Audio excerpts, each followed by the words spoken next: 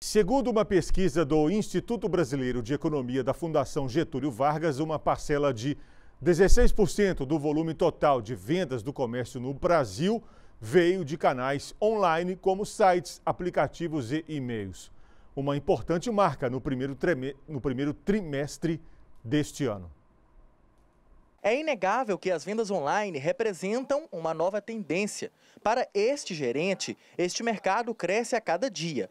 Ele conta que as vendas em sites, aplicativos ou redes sociais vieram para ficar. Essa tendência ela vem para ficar, porque desde a da pandemia, que houve a questão da pandemia, a empresa hoje ela teve uma alternativa de venda pelo site. E com isso os clientes aprenderam a comprar pelo site e hoje é, a empresa não pensa em tirar essa, essa plataforma no site.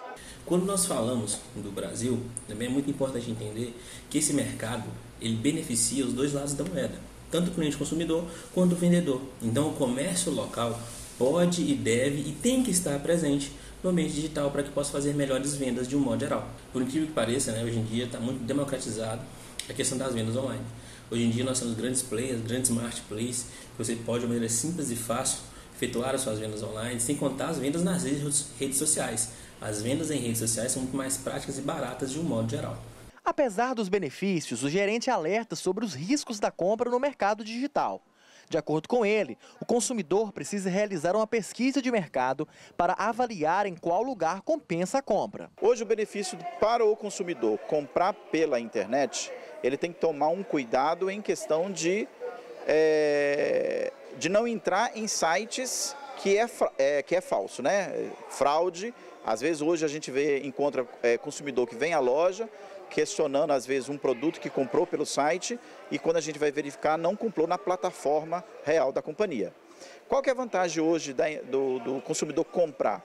É, dentro da sua própria casa ele fazer a compra né, sem precisar sair de casa, enfrentar trânsito, né? E ele pode comprar dentro da sua própria casa o produto que ele almeja. É muito importante também frisar que o mercado físico não vai se acabar por agora.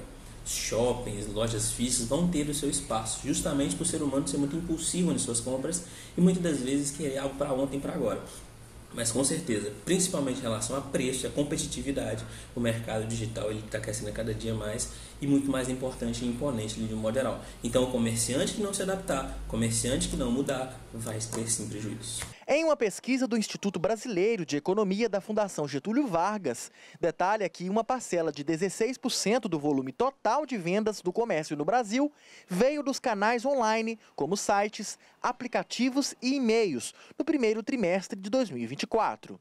A participação, de acordo com o estudo, aumentou pelo quarto trimestre consecutivo.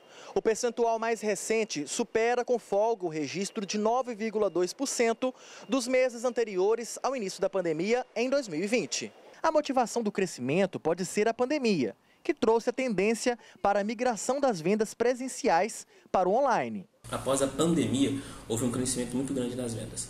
A pandemia do Covid-19 foi um divisor de águas em relação ao mundo digital. As pessoas que não estavam presentes começaram a migrar e hoje em dia temos muitas empresas somente no digital. Apesar que estar somente no digital também é um risco.